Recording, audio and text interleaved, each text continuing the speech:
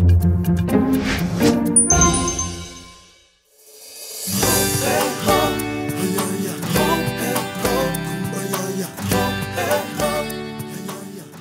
Gracias por continuar en sintonía de Prensa Libre TV. Hoy tenemos una visita por demás especial. Están con nosotros pues los niños embajadores de Teletón 2015 que vienen a llenar la redacción de Prensa Libre con alegría y con mucha esperanza.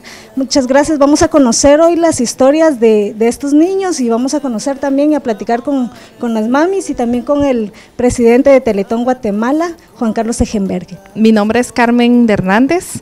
Eh, les presento a Vale, tiene 11 años.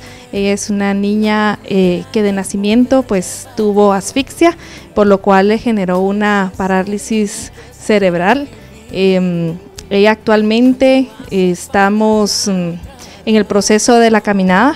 Eh, ella está ya usando lo que es un eh, CAFO, que es hasta la rodilla, más arriba de la rodilla, que eso le ayuda a ella para poder pararse totalmente y poder caminar con el andador.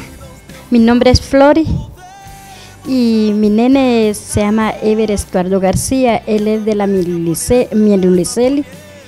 Y yo le doy gracias a Dios por los apoyos que me han dado ellos a mí. Yo no lo voy a poder pagarlos, pero Dios los va a pagar a ellos todo lo que han hecho a la vida de Ever, porque cuando yo me llevé a Ever a Teletón, era un niño que él no se podía moverse, pero ahora sí, gracias a Dios, él se va levantando por tantos apoyos que me han dado ellos. Mi nombre es Claudia Rodas, eh, mi hijo se llama Rodelvi. Eh, el diagnóstico de él es hidrocefalia, mielomeningocele. Eh, actualmente pues también utiliza un HCAFOS. acabamos de pasar prueba Locomat, que ya es un proceso ya eh, bastante grande para nosotros porque el hecho de, ya pasar a Locomat pues ha avanzado bastante. Y hemos visto mucho avance a partir de las terapias y ahorita pues esperamos en que él ya eh, pueda caminar ya solo con el aparato, está integrado a, colegio y Fundavien le ha ayudado mucho en el sentido de integración porque haya conocido a muchas personas con discapacidad y pues él dice, bueno, no estoy solo en este proceso, sino que hay muchas personas y sí le ha ayudado más que todo para la integración.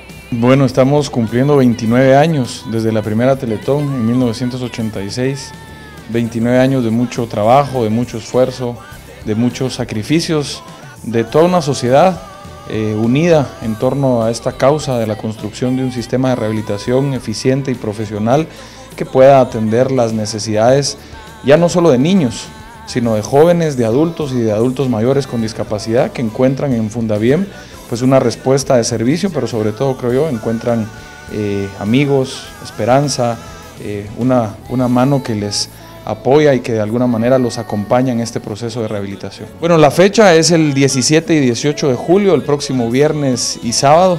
Hay muchas formas de apoyar, hay muchas formas de apoyar, lo podemos hacer desde ya, con, enviando la palabra terapia al 2425 desde cualquier compañía celular. Podemos acercarnos a los bancos, ya tenemos las cuentas aperturadas en todos los bancos del sistema y en los bancos recaudadores de Teletón en la cuenta 9999. Lo pueden hacer a través de las mini teletones. Nuestros hermanos en los Estados Unidos lo pueden hacer también a través de las empresas de, remesas que trabajan con Ban Rural. Eh, ellos son, digamos, el canal de recaudación para los hermanos que están en los Estados Unidos.